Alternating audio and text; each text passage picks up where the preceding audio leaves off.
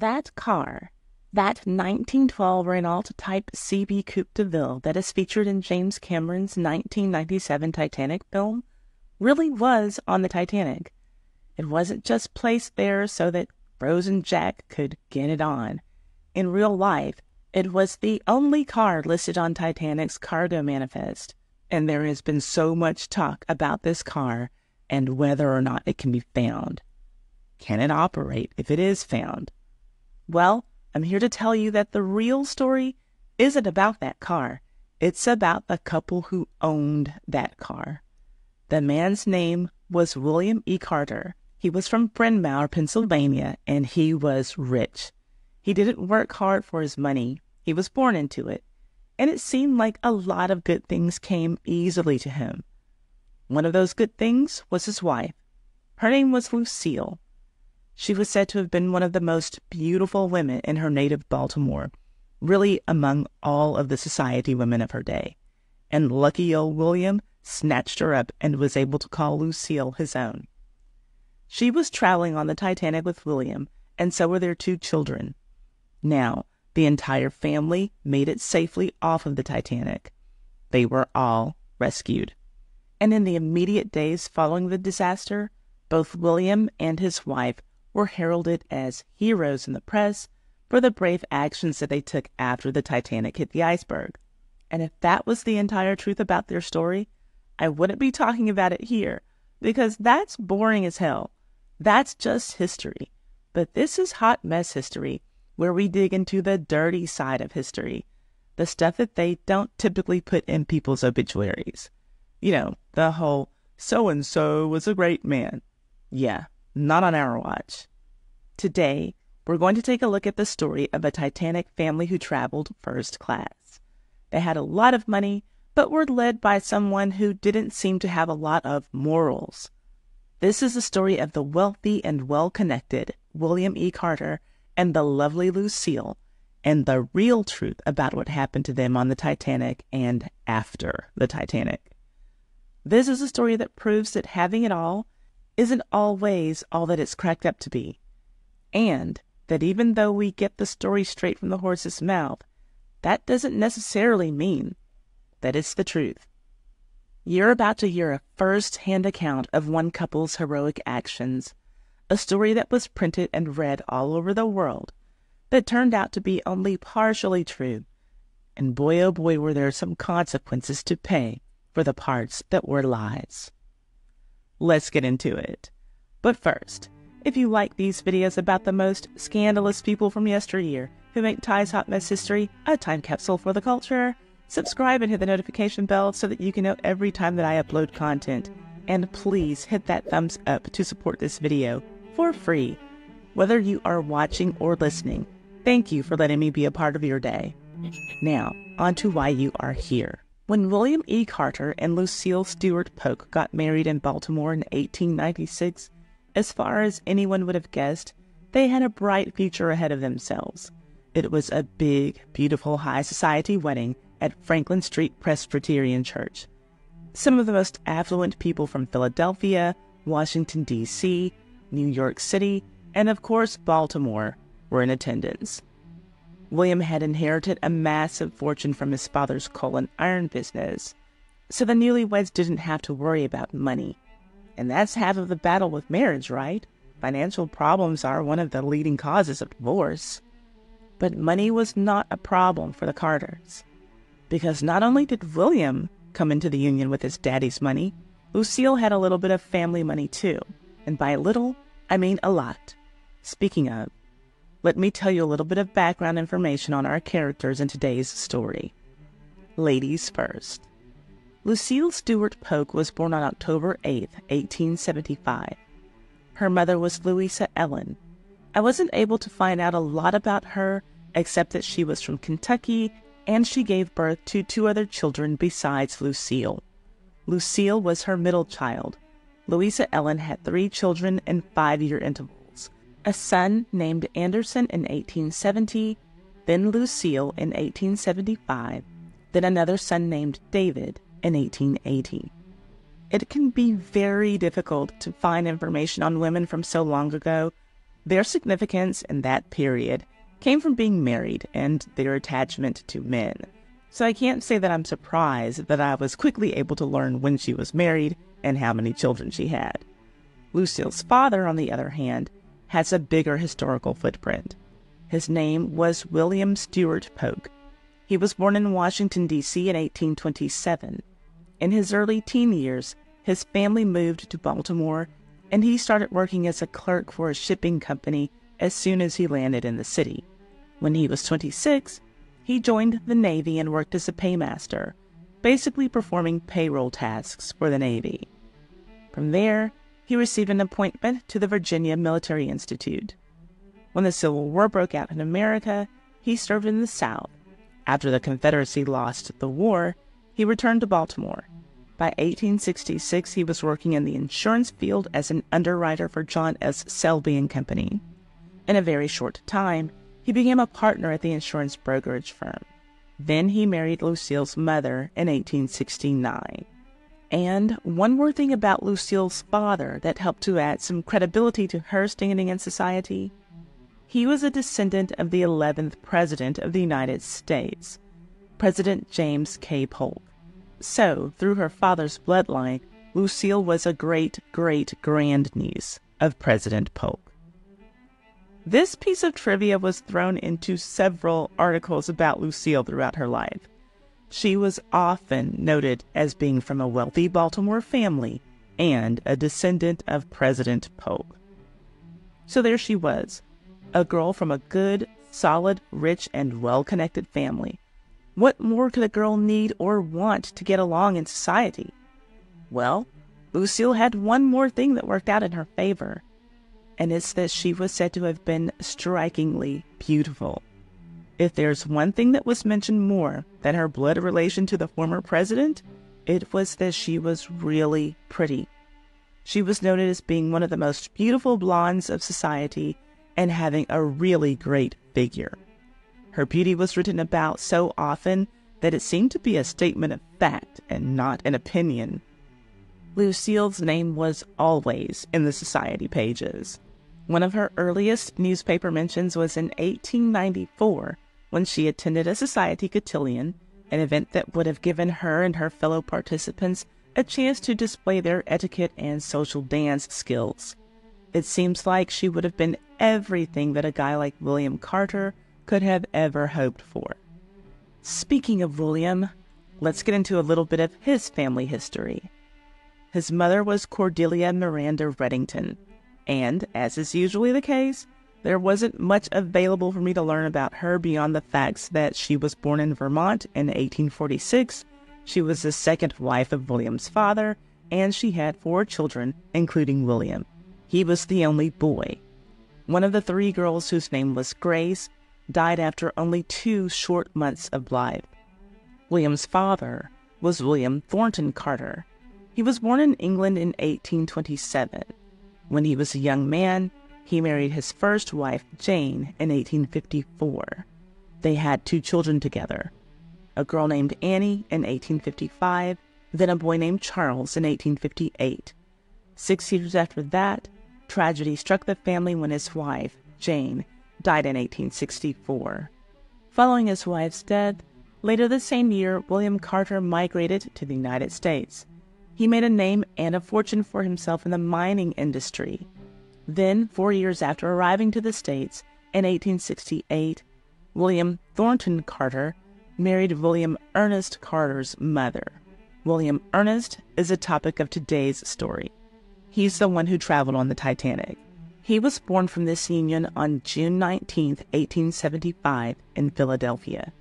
And just to be clear before we go forward, even though William, who is the main subject of today, is named after his father, I never saw that he was named or referred to as William II. That will matter a little later on.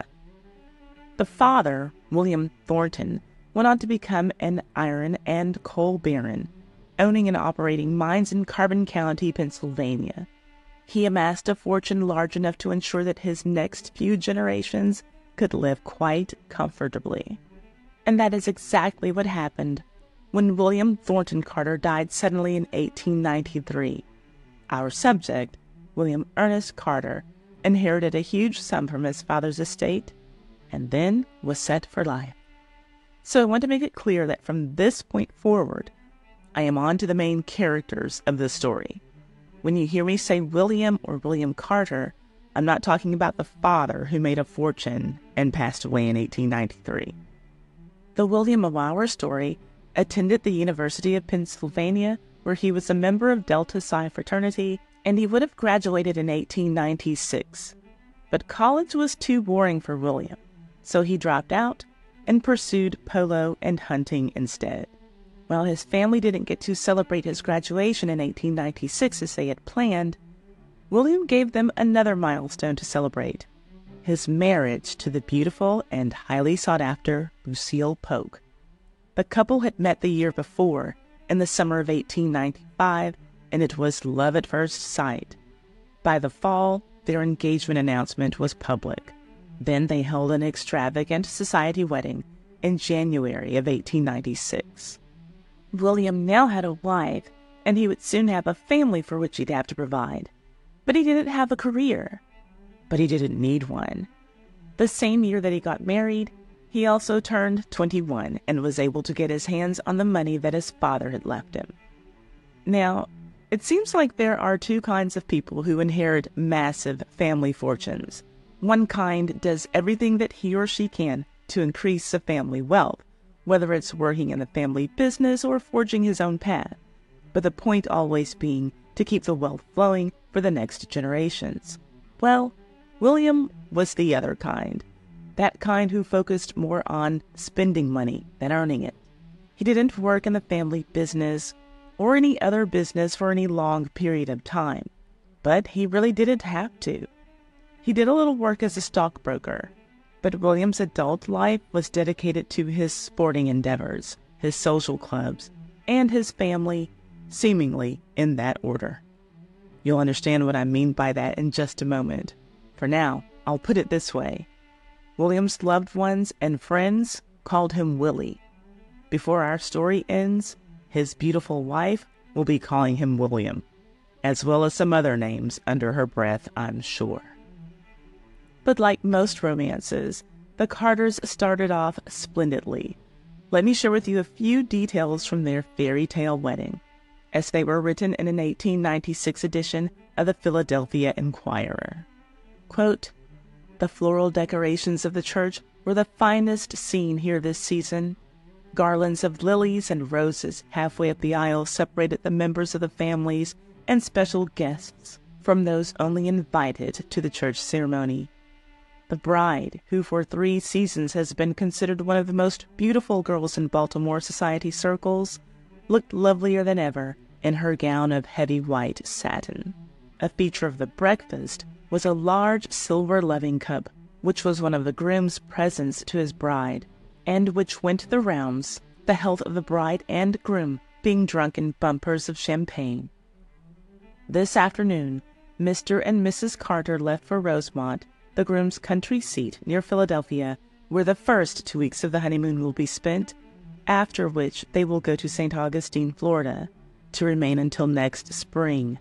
Next summer, they proposed enjoying a coaching tour through England. End quote. So you see that they had a honeymoon that lasted for half the year. When you don't have to work, you can do that. Life was pretty easy for the Carters. Getting back to real life after their honeymoon meant that William would make his rounds in his clubs the Bryn Mawr Benedict's Polo Club, the Philadelphia Country Club, the St. Anthony Club, the Pennsylvania Society Sons of the Revolution, and the Radnor Hunt. That's why they called him a club man, because of all of his exclusive club memberships. And Lucille was pretty much doing the same thing as William, only, of course, her clubs were made up of society women. The couple moved from their first home on Rittenhouse Square to their country residence in Bryn Mawr. It was called Gwytna, and Lucille would host fabulous dinners and receptions there. She was good at putting on a party, and her hosting skills made the Carters a big part of the in crowd in their society set. The biggest names from the busiest cities would often come and sit at their dinner table. These parties kept William and Lucille Carter's names in the same rotation as the Vanderbilts and the Astors in the society pages of the newspapers of their day. Being a beautiful wife and an amazing hostess, dressing exquisitely, and being a mother was Lucille's entire life. She became a mother in 1897, the year after they got married. The Carters' first child was a girl who was named after her mother. She was also Lucille Polk Carter. Then, three years later, in 1900, they had a boy. He was named after his father.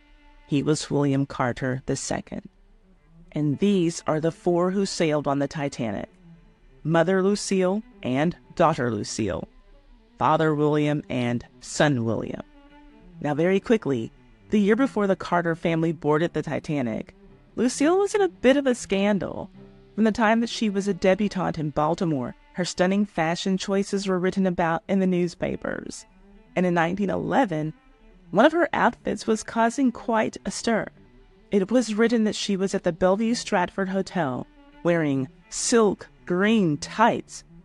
Now, I admit that I am not a fashion historian.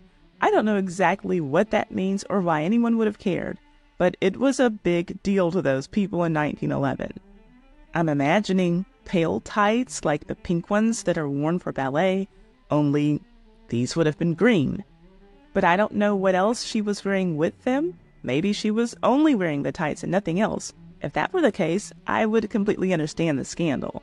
But thankfully for Lucille, she was able to prove her innocence to the fashion police because she wasn't even in Philadelphia when that nasty green tights rumor got started.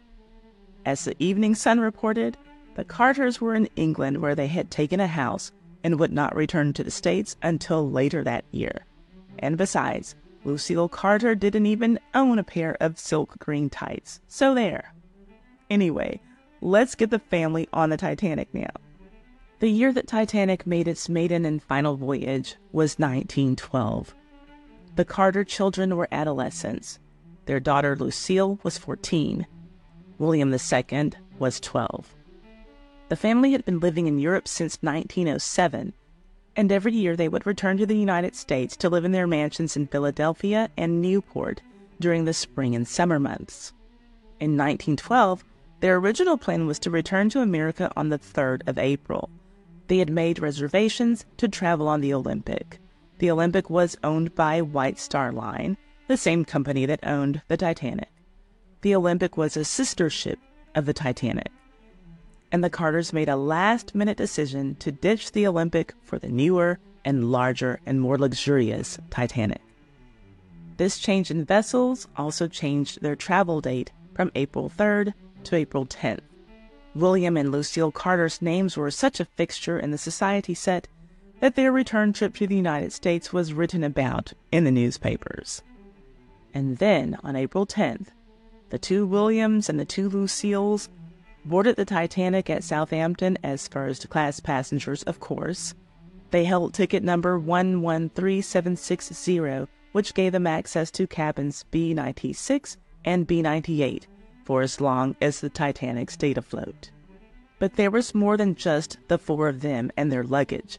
There was also Mrs. Carter's lady's maid, Augusta, Mr. Carter's manservant, Alexander, the family's two dogs, an Airedale Terrier and a Pekingese Spaniel, and the Carter's chauffeur, Augustus Aldworth. After all, somebody would have had to drive that brand new Renault after they got off the ship.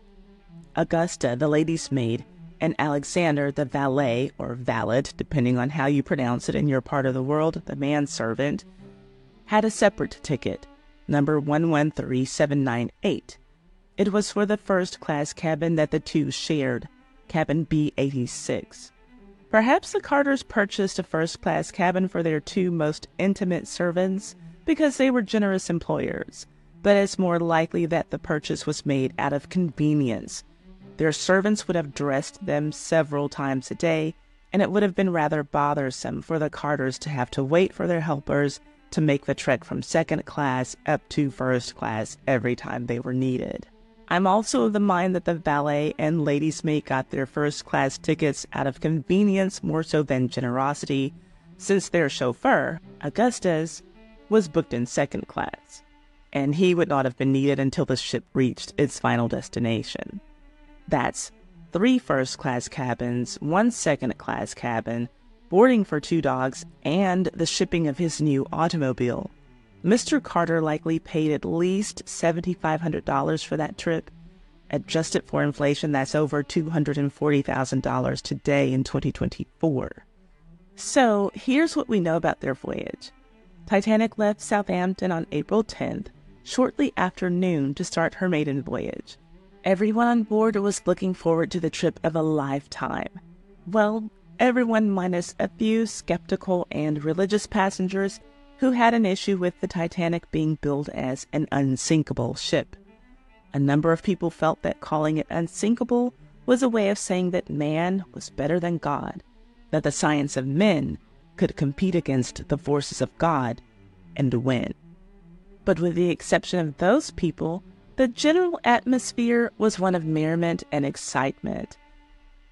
Upon entering the ship of dreams, the Carters and other first class travelers found themselves in a large reception room.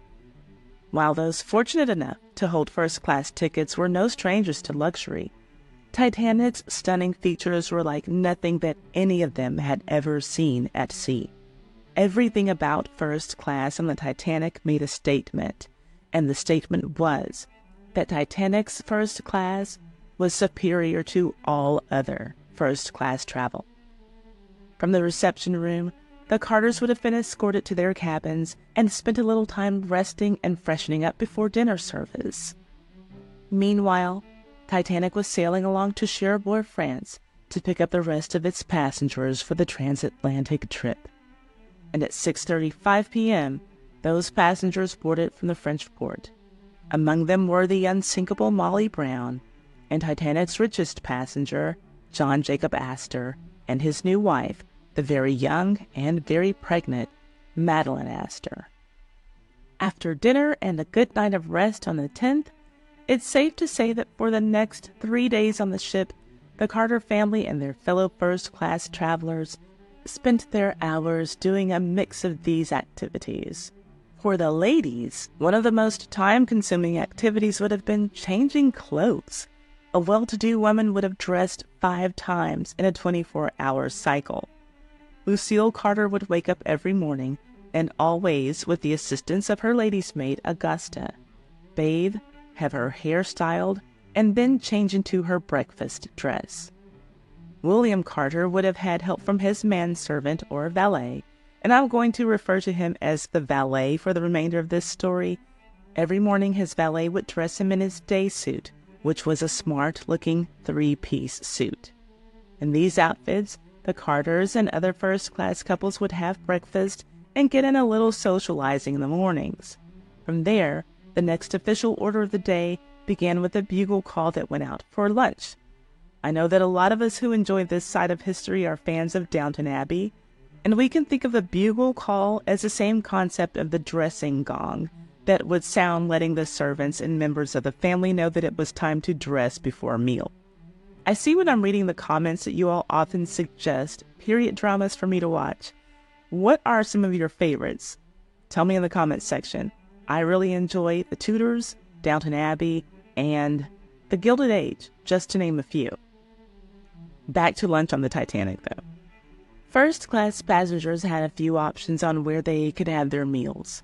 The spacious dining saloon was one of them.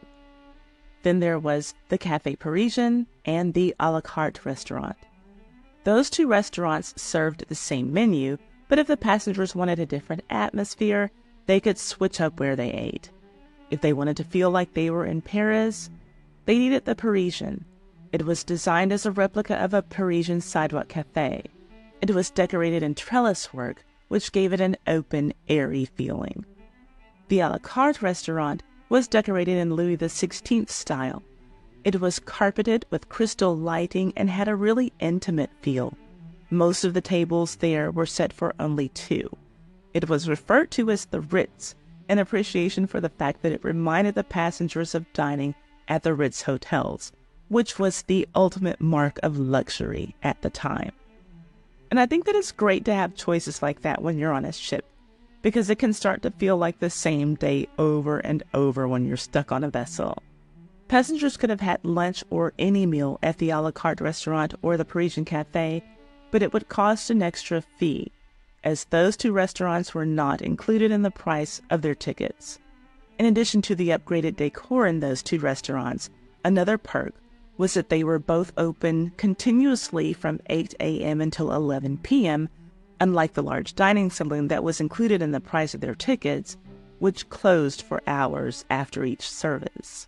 And there's no doubt that William Carter could have paid the extra money for his family to dine at either the Parisian or the a la carte restaurants. But it's not like the dining saloon on the Titanic was a shabby place to dine. It was a much larger space with seating for 554 people, decorated in wooden paneling that was painted white. The floors were covered in blue linoleum tiles that featured an elaborate yellow and red pattern. The portholes on the dining saloon were covered in a way that gave the passengers the illusion that they were dining at a restaurant on shore rather than at sea. When the ship's bugler, Percy Fletcher, played the roast beef of Old England at 1 o'clock p.m., Lucille Carter and the other first class ladies would be seated shortly after, wearing their fine day dresses.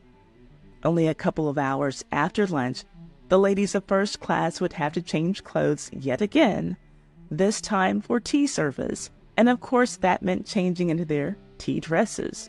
Yes, there were dresses made for drinking tea, because your husband had a lot of money and you needed to spend it on something. Afternoon tea was from 3 to 5 p.m. It could be enjoyed in all of the dining spaces that I already mentioned, as well as the reception room. Those who had tea there would get the extra bonus of live music because the orchestra played in the reception room for afternoon tea. And the tea service was mostly about the women. Those participating could have finger sandwiches, soups, samosas, and of course, tea but one of the main things on the menu for tea service was gossip. This was a time for ladies in first class to talk about how many wealthy men were spending their money on mistresses. I can imagine Lucille Carter cutting her eyes at Benjamin Guggenheim's mistress, who he had been flaunting in front of everyone for those few days. It's not lost on me that in modern times, a lot of people call gossip tea and those two things went hand in hand in 1912. I'm sure that afternoon tea was entertaining for all of the ladies, especially the ones who weren't the subjects of the whispers and rumors. But the dinner service was the real show on the Titanic in first class. The bugle call went out an hour and a half before service. Starting at 6, there were pre dinner drinks and another opportunity for conversation. Every night was a fashion show. The men would show up decked out in their finest white tie, and for the ladies who had been dressing fashionably all day, they saved their best for last. For dinner, they wore gowns, jewels, and sometimes even tiaras. If your husband was truly rich, this was your time to show it off. And this, fashion, was an area where Lucille Carter had sparkled her whole life. Her outfits and magnificent figure had been written about in society pages for years before she boarded the Titanic, and William Carter would have been proud to show her off. Years after getting married and having two children, she was still talked about for her remarkable beauty, stunning figure, and phenomenal sense of fashion. The first course was served at 7 o'clock, and for first class passengers, dinner was no less than 10 courses. It could be from 10 to 13 courses depending on the night. So it's not surprising that the last meal of the day ran until after 11 p.m. Then, after eating roughly a dozen courses of delicious cuisine, the ladies, like Lucille Carter, would stay at their tables and chat some more before retiring to bed. They'd have their final clothing change of the day as their ladies' maids helped them change into their sleeping gowns. The gentlemen would leave their dinner tables and proceed to the smoking room. This was the only room on the Titanic that had a real working fireplace. There were a number of fake fireplaces in some of the shared amenity spaces and some first class cabins, but they were just there for the sake of appearance. In the smoking room, the first class gentlemen ended their nights with brandy, cigars, conversations, cards, and gambling. There's a reason why women didn't go in there with them. Some of the ladies would have been raising hell if they could have witnessed their husbands gambling away their fortunes. This whole meal itinerary, plus making use of amenities like the Titanic's gymnasium, squash court, lounge, library, reading and writing room, and spacious promenade deck for walking or playing shuffleboard, chess, or dominoes, would have given the first class men and women a full day of activities. And if they wanted to partake in a little extra self care, they could also have taken advantage of the ship's Turkish bath, steam room, or private massage room for an extra fee of $1, about $32 in today's money, and we know that William Carter would not have had any problem paying that fee. Now, those were the typical days on the Titanic, but now we need to get into April 14th, the final day on the Ship of Dreams. That was an atypical day in more ways than one. On that morning, the dining saloon served a different purpose. In addition to serving food, it doubled as a place of worship. You see, the 14th was a Sunday, so first class passengers were given an Anglican church service officiated by the ship's captain, Edward J. Smith. The service started sometime around 10:30 or 11 a.m depending on which source you read. And don't worry, second and third class passengers were allowed to attend church services too, just not in first class. There were clergymen traveling in second and third class who led services for those passengers, Father Thomas Byles and Father Peruschitz. As a matter of fact, in third class, there had been a daily Catholic Mass which was attended by a number of the passengers, as there were many Catholics in second and third classes. Father Thomas Byles spoke English, Irish, and French. He said Mass for both second and third class on the morning of the last day at sea. And Father Peruschitz had given Mass every day for second and third class travelers in German and Hungarian. After worship services, activities on the ship went back to business as usual. Then, at dinner time in the a la carte restaurant, a few select members of the first class passengers were treated to a special dinner. William and Lucile Carter were in that number. It was a dinner held in honor of Captain Smith, and it was hosted by the Wideners, George and Eleanor. George Widener was an extremely wealthy streetcar magnate who was on the Titanic, returning home to Pennsylvania. He had been in Paris looking for a new chef for the new hotel that he owned, the Ritz Carlton, in Philadelphia. In addition to the Carters, Mr. and Mrs. John B. Thayer, Major Archibald Butt, and the Widener's eldest son Harry joined the table for the captain's dinner. As we know, dinner on the Titanic was quite the affair and was known to last past 11 p.m. The night of the 14th was no exception. After their meal, the gentlemen excused themselves from the table and left to go to the smoking room. Lucile Carter and the other ladies would have sat at the table and likely had a conversation on where they would meet for breakfast or tea the next day on the ship. But there wouldn't be a next day on the ship. After finishing their talk at the dinner table, the ladies made their way up that grand staircase, back to their cabins to have their ladies' maids change them for the last time of the day, and then retire to bed and off to their sweet dreams. But on the night of the 14th, those dreams would be cut short, and everyone on that ship who was asleep would wake up to a real life nightmare. So let's get into what happened to the Carter family, William and William, Lucile and Lucile, during the sinking of the Titanic. Mrs. Lucile was tucked into her bed and asleep when the Titanic struck the iceberg at 11:40 p.m. Shortly after the impact, she was awakened by her husband, who quickly escorted his wife and their two children to lifeboat number four.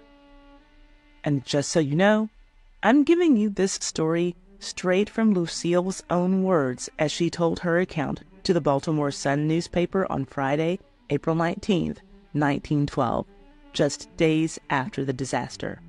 So, from this point, I'm reading her words, or the words of the news writer, until I tell you that we're back to my words. As I'm reading it to you, know that it's not completely in the order that the story was written, but I'm presenting those original words to you in a manner that's pretty close to the chronological order of events. I'm sure that we can imagine that Lucile's nerves would have been frazzled at the time that she spoke to the press, and so her thoughts were probably skipping all over the place, and so was her story. And also because of that, neither will I tell you this complete story, because Lucile also spoke about other passengers that don't have anything to do with the essence of our story today people like John Jacob Astor, his wife Madeleine, and other first class passengers and crew members. I have published a number of Titanic passenger scandals on this channel, and generally, from the time that the ship struck the iceberg until the passengers were rescued by the Carpathia, the details that I share in my videos are based on the timeline that was figured out by the general consensus after the two inquiries into the Titanic disaster one held in New York City and the other in London. But I'm going to abandon most of that for this video as we get into this first hand account from Lucile Carter. Even if her timeline isn't perfect, having her story gives us a really unique opportunity to hear the recollection of a survivor.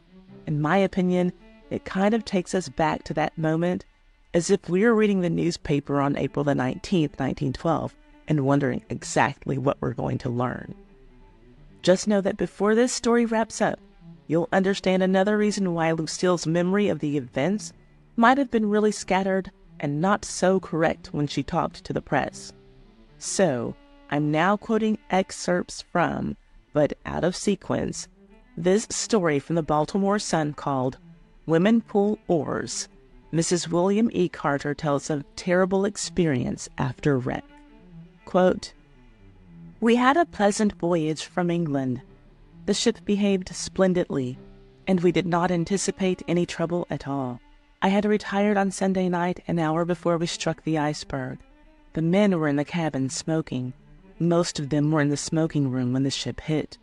The first I knew of the accident was a tremendous thump which nearly threw me out of my berth. I realized that something must have happened and feared that it was a bad accident. A moment later, my husband came down to the stateroom and told me that we had struck an iceberg. There was no confusion. I dressed myself hurriedly and went out on deck with my children. The ship was badly damaged.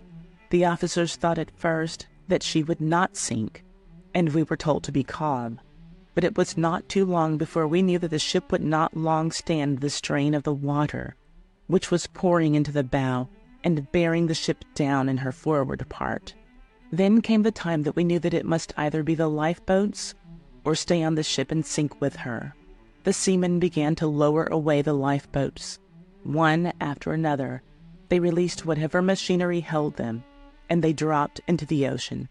There was ice all about us, and the night being comparatively clear, we could see the floes all around us when we peered down over the side of the ship. When the boats had been lowered, then it was that time of parting came. There was no excitement. Every one of the men whose wives or women folk were with them took them to the side of the ship, where a lifeboat was waiting, and kissed them before they took them over the side.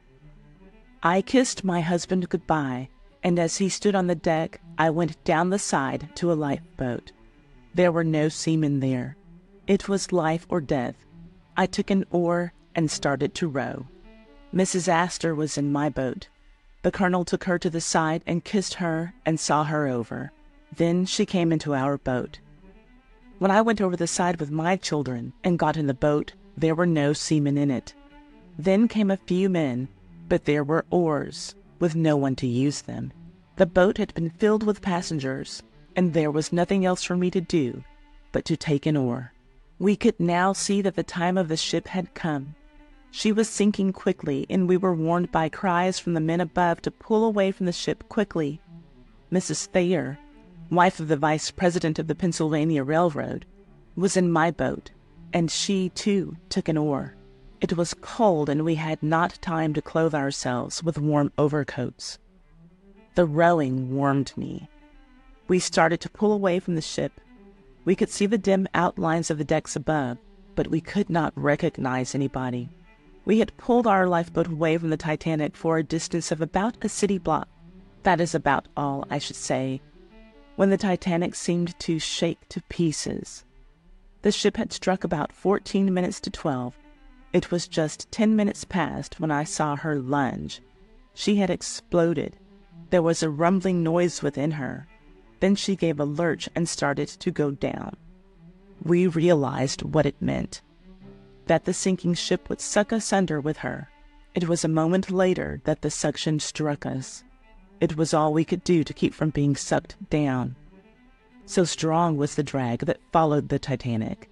After ten minutes past one o'clock, there was a sudden explosion, and the giant hulk of the ship blew up, rearing up in the water like a spurred horse, and then sinking beneath the waves. But we pulled away at last, after straining as hard as we could at the oars. Then we were alone in the boat, and it seemed darker.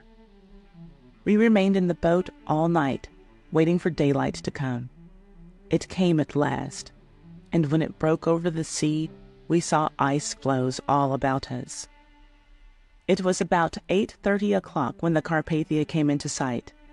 I can't tell how I felt when I saw her. I had believed that my husband had gone down on the ship. It wasn't until after we were taken over the side of the Carpathia that I saw him. Mr. Carter had been compelled to take an oar in a lifeboat that was not sufficiently manned. That is how he came to be saved. All of the men waited for the women to go first. Mr. Carter was among this number. When he put me into a lifeboat, he stayed back.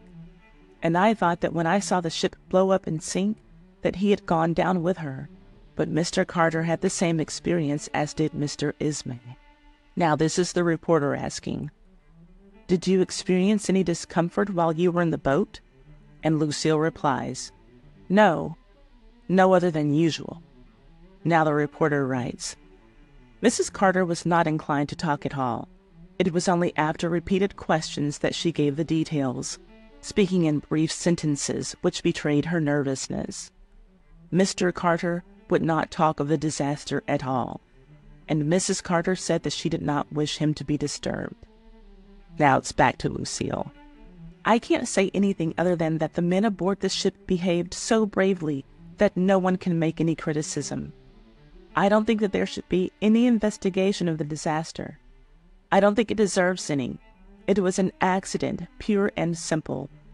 Officers of the ship could not see the iceberg, and we struck it so hard that the boat could not withstand the shock. Now, this is the reporter again. While Mrs. Carter is still suffering from the shock of the disaster, the agony of the few hours when she believed that her husband had plunged down with the Titanic, when the liner reared and pitched into the sea, and the stress of the days of returning to land, she is expected to recover in a few days. Mr. Carter was cheerful from the time that he stepped off the ship at the dock, and he met those who had come to greet his party with a quiet smile. He was frankly glad to be alive, but most of all that his family had escaped and that he had been reunited with them. End quote. Thank you for watching the story of this brave family. I'll see you on the next video. Just kidding. I know that you know me better than that. If this story were the whole truth, I wouldn't be telling it here because that would be so boring. Luckily for us, a lot of this story that Lucile told is a bunch of baloney. Now we're at the part where we rip someone to shreds. That is why this channel is called hot mess history. You see, I learned about this couple the same way that I learned about a lot of the people who were on Titanic. After seeing their names on a survivors list, I just did a little digging into the Carters, and I saw that they were divorced just two years after the sinking of the Titanic. So, of course, I thought, you see a family survive a disaster like this, then you think that they can make it through anything. So, why did Lucile file for divorce from William two years after they survived the sinking of the Titanic? We're about to get there. First, I want to share with you what the Baltimore Sun writer had to say about Lucile. He was blown away by the composure that she displayed while retelling the horrific events of that late night and early morning. Here's what he wrote quote, Mrs. Carter probably did not realize that she was one of the first to give the exact manner in which the boat went down. When she told how the ship struck at 11:46 o'clock Sunday night, how the women and children and the few men who manned the oars pulled away, how 20 minutes later at 1:10 the giant Titanic exploded with a roar and a crash and took all on board to the bottom, how the powerful suction of the sinking vessel drew the boat in which she, with Mrs. John B. Thayer, was pulling an oar with two men and forced them to pull for their lives to escape the maelstrom. When she spoke of how she, in common with the other women, kissed their husband goodbye and did not know until afterward that he had got into another boat. All through this recital, which would move the average woman to tears and blanch the cheeks of men, she was as cool as if she had been merely describing one of the ordinary daily events of her life. My, my, my! How could Lucile remain so calm, discussing all of those brave men, like her husband, who got their families safely secured away in lifeboats, sending them off with kisses, and then going off to rescue even more women and children? It's almost as if she was detached from the story like she was telling someone else's story. And poor William, he didn't have the heart to say anything at all. That would have been so odd for a woman, a lady, to have experienced every bit of horror that her husband did. But she was the one who was composed enough to talk to the press while he was shocked into silence? What kind of man is that? Remember this part from her story? Quote, Mr. Carter would not talk of the disaster at all, and Mrs. Carter said that she did not wish him to be disturbed. Well, here's why she did all the talking. Because apparently he was a bad liar and wouldn't have been able to tell the press with a straight face just what a coward he was. We already know that this couple got divorced, so we're going to jump forward a few years to 1915 so that we can know why Lucile left William Carter, and yes, part of the reason, a big part of the reason, has to do with what happened on the night the Titanic struck an iceberg. We'll get into other reasons later, but check out this headline from the Baltimore Sun dated January 21st, 1915. Said Carter was cruel. Former Lucile Polk's divorce testimony partly revealed he left her aboard Titanic. Yes, so that whole story about how William came into their cabin, woke up Lucile to tell her that the ship hit an iceberg, then escorted her and the children to a lifeboat and gave her a kiss before being lowered off the ship into her lifeboat. That story was all a bunch of hooey. Balderdash. Malarkey. Pardon my language. Now let me tell you what really happened that night. The Carters attended a dinner at the a la carte restaurant held in honor of the ship's captain. True. After the dinner, Lucile went to her cabin to go to bed, and William went to the smoking room with the other gentlemen. True. The Titanic struck an iceberg at 11:40 p.m. Of course, true. William woke up Lucile saying, "Honey, get up, dear. The ship is about to go down and I need to be sure that you and my children are safe. Let's get you to a lifeboat. Then he did just that and kissed her goodbye with an uncertainty of ever seeing her again. False. According to the story that William and Lucile made up for public consumption, John Jacob Astor, George Widener, and John Thayer were all with William Carter as he escorted his family to the lifeboat. It turns out that this original story that the Carters concocted was truly a convenient one, seeing as all of the men William would have come in contact with were dead and could not bear witness to his account or deny it. Remember that when Lucile was recounting her story to the reporter, she said that she didn't want an investigation into the shipwreck. It was all just an accident. Leave those men alone. They've suffered enough. Well, the truth was that William came running into his family's cabin and told his wife, and I quote, Get up and dress yourself and the children. End quote. From that point, he took off running like Bruce Jenner to get himself to safety, never once looking back for his wife or daughter or son. Basically, everything that I have told you about Lucile's story was true, only after the part when her lifeboat was lowered. Lucile did take an oar and helped row her lifeboat to safety. She was a hero that night and early morning. She did see John Jacob Astor put his wife, Madeleine, into her lifeboat and give her a kiss and wish her farewell. She saw the same for every other married woman in her boat. So it seems that she just stole that part from their stories when she made up the lie, telling the newspaper that her own husband kissed her goodbye. She was covering for her husband, who did nothing to protect her or their children on that frightful early morning. But my oh my, in real life, I cannot imagine the thoughts that must have been going through Lucile's mind after she was hoisted up onto the rescue ship the Carpathia, still scrambling about, trying to make sense of what she had just experienced in the hours past, and then adjusting her eyes and focusing on what or whom she was actually seeing. Like, wait, I know that can't be William over there. Let me explain. I want you to hear it in her words, and here they are, taken from the court record of her divorce hearing. Quote, On April 10th, 1912, we sailed for America on the Titanic.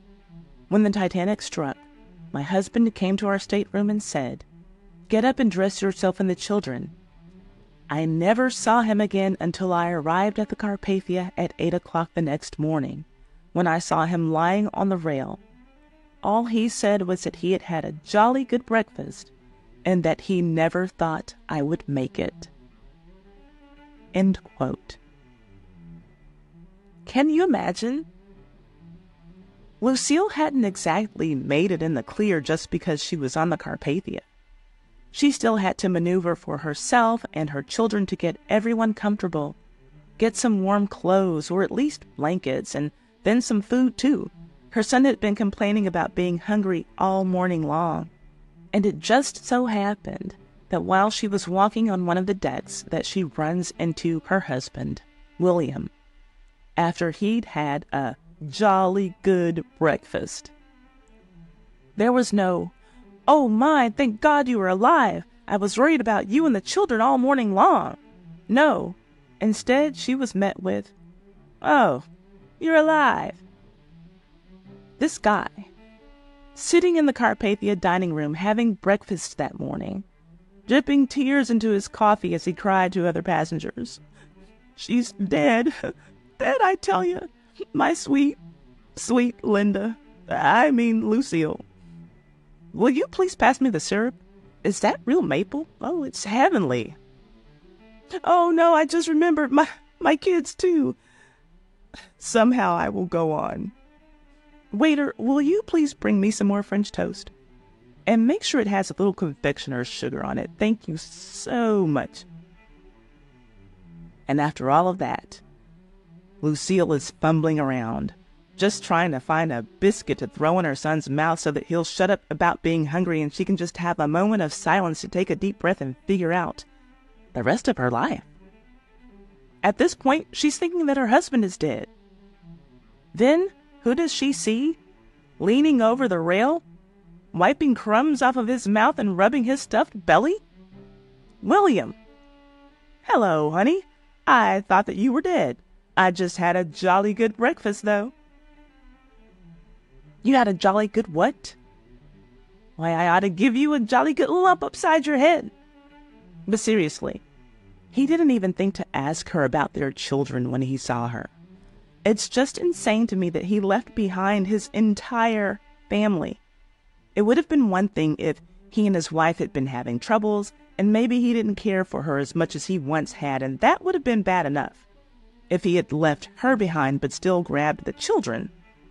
But to not even think to save his 14 year old daughter and or his 12 year old son, just one of the kids, in my opinion, is unforgivable.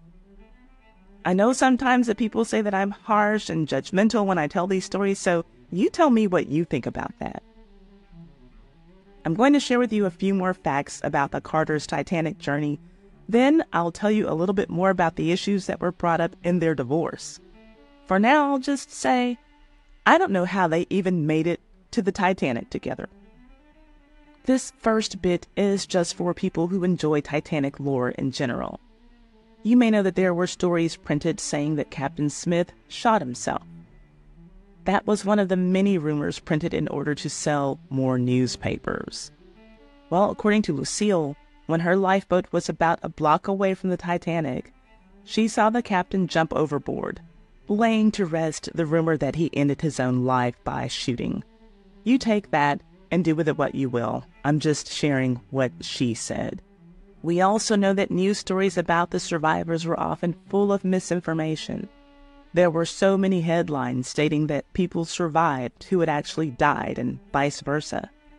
So it's no surprise that Lucile's family could only make guesses about her safety until they heard from her directly. I have a couple of quotes one from her father on April 16th and one from her brother on April 19th. They are probably going to sound like rich people being callous and disregarding anyone who didn't have enough money for a first class ticket. Quote, Mr. Polk, father of Mrs. Carter, said that if the passengers who were rescued from the Titanic before she went down were first class passengers, and they presume that they were, they are reasonably sure of the safety of their daughter. End quote. That might seem cold, but that's typically how it went priority was given to first class passengers, even when it came down to the matter of life and death. Then there was Lucile's brother, Anderson, who was concerned about the property of William and Lucile. After learning that his sister, brother in law, niece, and nephew had all survived because he went to New York to meet them when their rescue ship arrived, part of his statement for the Baltimore Sun was, quote, She and my brother in law lost everything they owned, including all their jewelry. End quote. Yes, they lost all of their belongings that they brought on the Titanic, including that fancy brand new Renault automobile.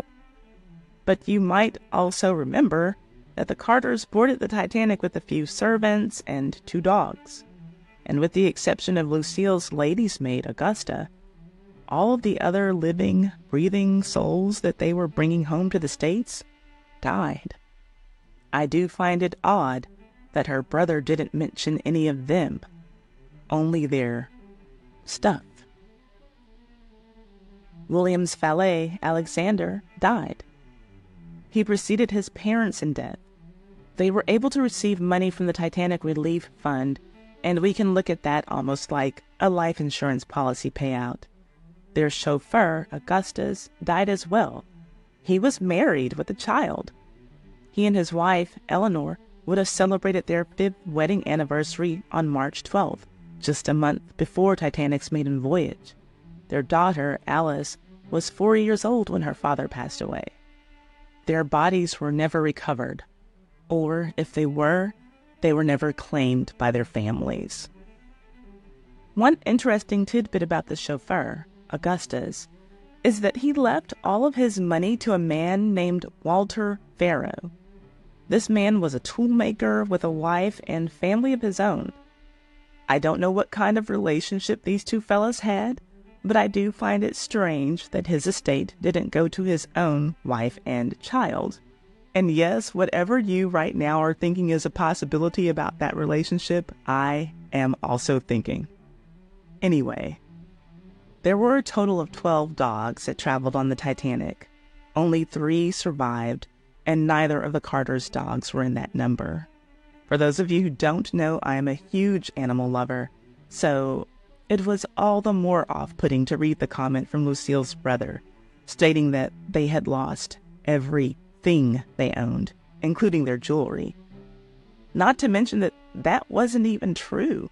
Lucile and William lost all of their material possessions that were on the ship, but they still had three mansions that were fully furnished, like, give me a break. The day after Lucile's account was printed in the Baltimore Sun, April 20th, 1912, the paper printed Lucile's mother's thoughts about her daughter and her son in law. She was in awe of their heroism. And there's no wonder why. Of course, Lucile had to tell everyone how brave her husband had been that night. No less would have been expected of William as a gentleman. So, everyone believed her story. Here's what was printed about Lucile's mother. Quote, Though proud of her daughter, Mrs. Polk was no less proud of her son in law. She was glad that he was saved, but far more proud of the undisputed fact that he, with Colonel Astor and the other heroes, parted from his wife with no hope of seeing her and the two children again. Well, part of that was true. William did part from his wife, with no hope of seeing her again but the undisputed fact that he was a hero was a big, fat lie. Male chivalry was a much bigger deal in those days than it is now, and among the high society men, even more so. There was a code. All of those millionaires didn't die on the Titanic because they wanted to.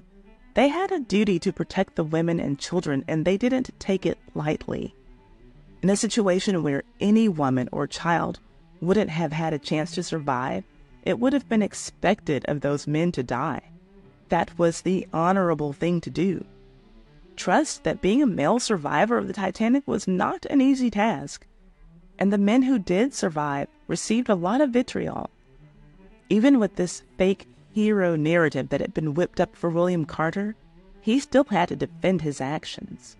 And we can only imagine how irritated and embarrassed Lucile must have been for getting praise right alongside her husband, when in fact she was the only real hero that night between the two of them. He hadn't done anything but abandon his family in order to fend for himself, but still, some of the people who heard his story were ready to give him a Medal of Honor. Here's a direct quote from Lucile's mother. My daughter says that she was in the same boat with Mrs. Astor and Mrs. Thayer, and that her husband kissed her goodbye as the other husbands had, and stood back for the boat to be lowered. Mrs. Polk said with pride. Well, your daughter lied, Mrs. Polk. And it seems that holding in that lie is eventually what led Lucile to filing for a divorce from William. Now we're going to get into the divorce record. And what we're going to see is that Lucile had a habit of not telling people just how awful William was. It seems like his cowardice displayed on the night of the Titanic disaster was just the straw that broke the camel's back. And then she finally exploded. When she opened the can of worms, she was just ready to let it all out and finally be done with him. But had Lucile really been holding in her true feelings about her husband? Well, you know the saying you can fool some people sometimes, but you can't fool all the people all the time. Sure, she put up a good facade regarding their marriage, but when the rumors started swirling about the pending divorce, her closest society friends were not surprised. William told the press that even he was caught off guard by Lucile filing for divorce against him, and there's just no way that that's true. How do we know that? Looky here. On January 31st, 1914, the Baltimore Sun ran this story Carter suit expected. Friends of society leaders here knew of discontent. And it has everything in it that you would expect it to have. It basically says that their friends knew that the couple seemed distant and not so friendly to each other, but especially after their Titanic trip. It also tells of one society function in which Lucile lost it and, quote, had society almost clinging to ropes. Now, this happened shortly before the Titanic trip. Lucile and William were at a horse show, and in a rather loud voice, Lucile said that she would rather leave than have a wet dish rag for her husband. Then what happened? They went on the Titanic, and William didn't even try to save her. There had definitely been trouble brewing in paradise. But this news didn't come to light until 1914. However, the Carters' relationship was still looking shabby to the people who didn't know about this wet dish rag comment at the horse show. So William tried to make people believe that he had no idea of why his wife would want to divorce him. But all of their friends saw all of this stuff going on. Right, William. Yeah, you don't know why she wants a divorce. You see, only a couple of months after the shipwreck, William got into a horrible accident while he was doing what he loved to do most taking care of his family. Just kidding, he was playing polo.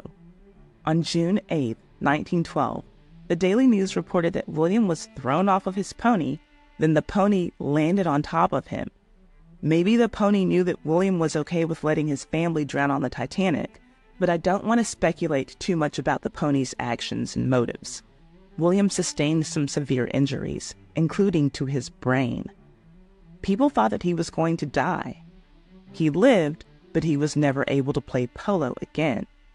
And you can be sure that his recovery process was a long road, which would have made people wonder why the very next month his wife was out at another society event and not at home taking care of her critically injured husband. Here's what the Evening Sun printed about Lucile that July. Quote, Mrs. William E. Carter of Philadelphia, formerly Miss Lucile Polk of Baltimore, is visiting Mrs. J. Gordon Douglas at her villa at Newport. Mr. Carter is recovering at their country place at Bryn Mawr, near Philadelphia, from the effects of a recent accident in playing polo. End quote. Yeah, it doesn't seem like Lucile was really worried about William's little brain injury.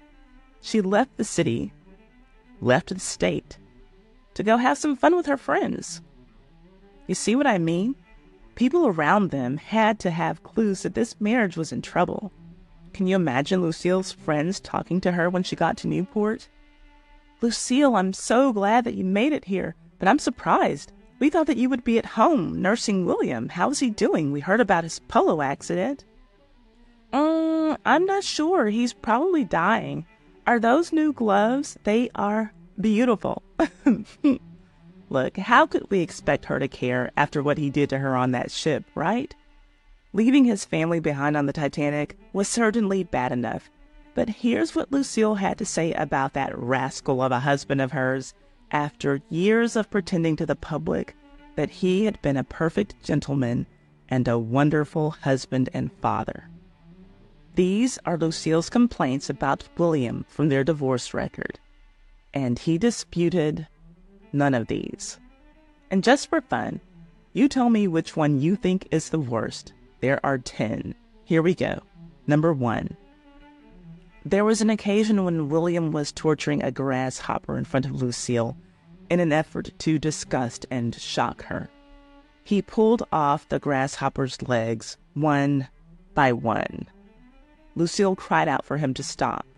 When he finally did, he grabbed his horsewhip and horsewhipped Lucile as a punishment for telling him what to do. Number two, he frequently boxed her ears, as in punched her in the ears without provocation. Number three, he was nearly always drunk. Number four, William once kicked Lucile in her back. My goodness. Number five, on one occasion when the family was living in England, he stayed in bed for two months straight drinking whiskey every day until he was in a maudlin condition or overly emotional state. Now, this one is a double whammy because he did it in England. We know that over there they think that emotions are vulgar. What was he thinking? How American. Hey, I'm just kidding. We love our English historians. It's just a joke and an observation. Number six, he went with other women. That means he had multiple affairs. Ladies, take this as a warning that looks don't mean everything. You can be the most gorgeous woman within a 50 mile radius and still have a man cheat on you.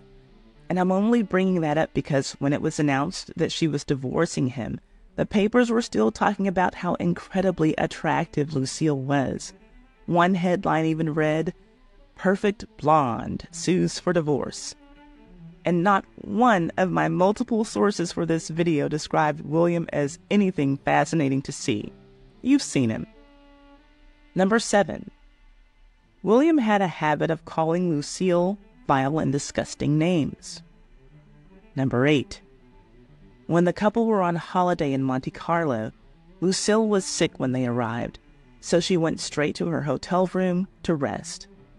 While she lay sick in bed, William stayed out all night. He returned the next morning, intoxicated. When Lucile took issue with his behavior and asked him why he didn't take care of her, he said, and this is a quote from the record I didn't come here to be your maid. I came here to see some of the most attractive women in the world. End quote.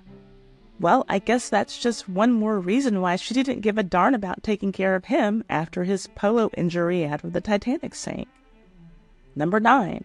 He was continually on the move and seldom stayed in one place more than one month at a time. In my opinion, this is the least severe complaint on this list though I admit that I don't fully understand the context. I'm thinking that was a complaint because it would have complicated schooling for their children, as in perhaps they had to keep taking them out of and enrolling them into new schools whenever William wanted to move. I'm just not certain. Tell me what you think. I could be overlooking something more serious. And number 10. This one actually seems like it could be an extension of number 9, like a 9B. When the family was on their stints living in Philadelphia, William often absented himself for a month at a time, telling Lucile he was going on a hunting trip or to play a polo match, which would mean that he would return later that day, or possibly be gone for a few days at most. Well, instead of leaving for his polo match, he would go to England. Yeah, not right around the corner from Philadelphia.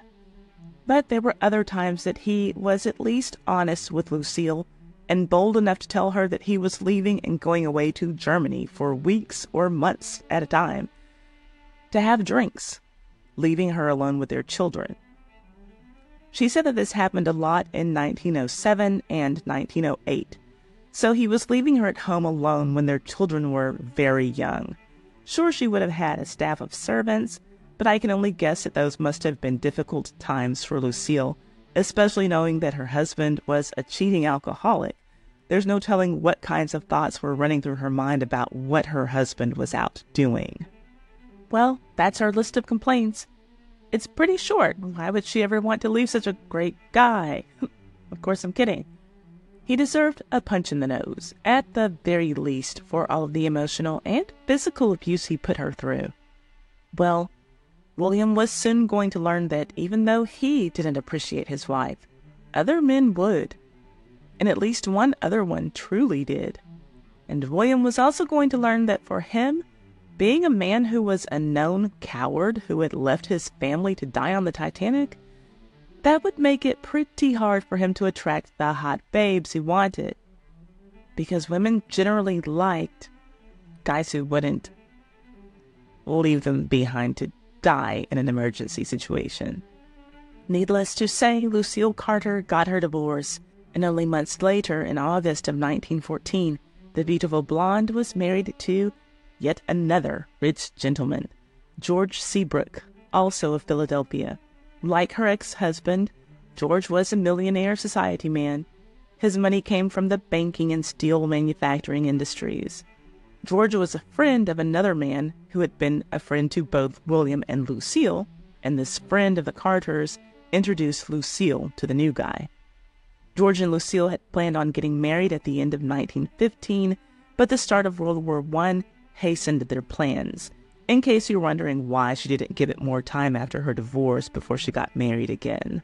After all, she had been married to William for 17 years. But Time waits for no man, and neither does a good woman. Lucile and George got married in London, then traveled back to the United States to set up their marital home in Pennsylvania, and they sailed back on the Olympic. one of Titanic's sister ships. I will always be amazed at how anyone who lived through the Titanic tragedy could find the nerve to ever get on a ship again, but to top it off, to get back on a White Star Line vessel. Shortly after the Carters divorced and Lucile remarried, their daughter, Lucile, was coming of age. Remember, she was 14 when they were on the Titanic. Now she was 18, and it was time for her to have her own debutante balls, like her mother had done years before. With William and Lucile not having the most amicable split, they each hosted separate galas for their daughter. So, the young Lucile was doing double time in her debut season compared to her affluent peers. Speaking of their children, in case you have any doubts about the story of William leaving his wife and children to possibly die on the Titanic, the son of William and Lucile, William Carter II, confirmed the account that his mother gave in her divorce proceedings. Of course, William denied that he left his family behind, but William II's story tells a different tale. In his own words that were chronicled in Titanic Children, Eyewitnesses to History, he said, quote, Mama awakened me just after the collision. She came to me just as I opened my eyes and told me that there had been an accident. She told me to be a brave boy and to dress myself as quickly as I could. While she and my sister Lucile were dressing, I dressed myself and then we all went up on the deck where we had been told to go. Up there, we found the women all crowded around one part, while over on the other side were men all kept back by men with revolvers. All of the children were with the women, and while the people were getting into the boats, a man would try to break through the line, and then there would be some shooting.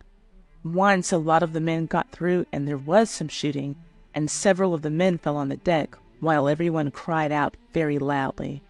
One of the men stood still for some time, and all of his jaw was shot away. I was watching him, clinging to my mother's skirt, when it came our turn to get into the boat. It was hard in the boat, and we found there was very little to eat in it. Then everyone was worried about whether we would be picked up or not. Some were very brave, but cried a lot. We rowed away from the big ship and then in the daylight, we saw the Carpathia coming and we were picked up. I am awfully glad my mama and my sister Lucile were saved, and I feel very sorry too for those who lost their lives. It was awful sad. End quote. You can see that he wasn't bad mouthing his father. He was merely recalling the events of that night and morning, and his father was simply not in the picture. So it shouldn't be a surprise to learn that William Carter, the father and ex husband, spent the rest of his life in a rather lonely state. Two years after Lucile remarried, William was back in the news because he was being sued for defamation. While at a dinner dance, he called a man a thief and a liar. Well, we know William liked to drink. Maybe he had a little too much to drink at that party, too. For the next few years after his divorce, he was the defendant in a number of lawsuits. My favorite one was in November of 1916 when William was sued for $811 for lingerie that Lucile had ordered. She ordered it in Paris in 1913 when she was still his wife. She had received the lingerie, but William had never paid the bill. In our money today, the cost for that lingerie was $23,000. He could afford to pay for it easily. He was still a millionaire.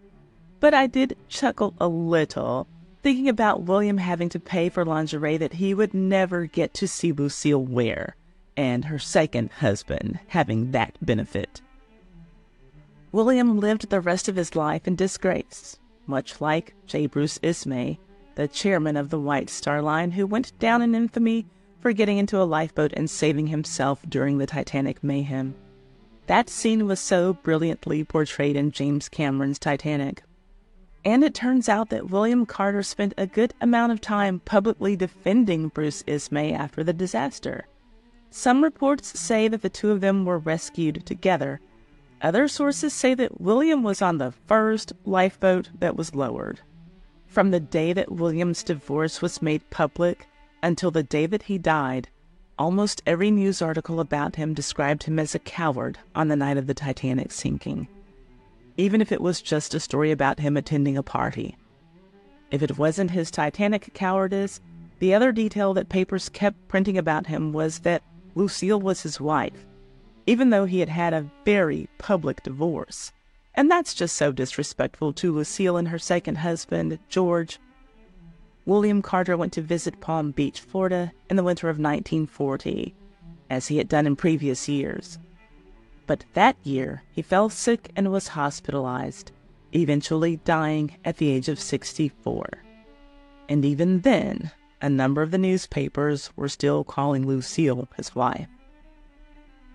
Lucile and her second husband, George Brooke, went on to have a seemingly happy and relatively quiet life. They had one daughter together in 1916. Her name was Elizabeth. Lucile and George remained married until she passed away in the home that they shared, called Almondbury House.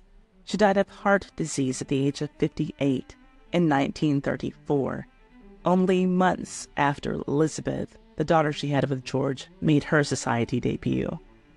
Just for the sake of trivia, their daughter Elizabeth lived to be 100 years old. And yes, even in Lucile's death announcement, it was mentioned that she was the great great grandniece of President Polk. As for the daughter Lucile, she got married in 1922 when she was 25 years old. Her husband was Samuel Reeves. He was a millionaire too, the president of the Phoenix Iron Company in Pennsylvania. Like many Titanic survivors, Lucile never talked about the horrors of that night for the rest of her life. But any fears that she might have had after that frightening experience didn't stop her from making numerous transatlantic trips throughout the rest of her life. Luxury travel was just a part of her lifestyle. Lucile and her husband made their family home in Radnor, Delaware, and had three children. They remained married until he died Lucile never remarried, and in 1962, she died of heart failure at the age of 65. And the son, William II, went on to do quite well for himself in banking. He married twice. The first time was in 1925 to a society girl from his Bryn Mawr neighborhood. Her name was Centra Ellis. The couple had a daughter in 1930 who was named Centra after her mother. And I have to say that one thing that I enjoy about covering this era is seeing so many girls named after their mothers, not just boys named after their fathers. One of the articles I used even referred to the daughter Lucile as Lucile Jr. Anyway, William II and his first wife divorced in April of 1943. I was only able to figure that out after I found their daughter's wedding announcement from 1950 showing her mother named as Mrs. Howard C. Fair. So clearly, she had a new husband by the time that their daughter got married. So I had to do a little backtracking. A few months after he divorced Centra, William married a woman named Ella Snelling, and I was able to find in a society page from February of 1944 that William and his new wife were being entertained by the George D. Wideners, Remember, Lucile and William Carter were sitting in a dinner hosted by George D. Widener and his wife on the night that the Titanic sank? And here in 1944, George Widener, named after his father, was hosting William Carter, who was named after his father. They keep those circles tight, don't they?